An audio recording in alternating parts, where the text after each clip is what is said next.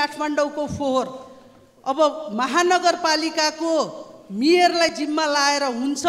या सङ्घको सम्बन्धित मन्त्रालय सरकारले यथाशीघ्र बसोस् बसेर यसलाई निवारण दिएन भने अहिले त पानी परिरहेको छ चार दिन घाम लागेछ भने बस्न सक्ने वातावरण बन्ने छैन। सामान राम्रो छ ढुक्क हुनुहोस्। थाहा छ थाहा छ त्यसैले त यही लिन आएको। गुणस्तरीय प्लम्बिङको भरपर्दो नाम मार्बल।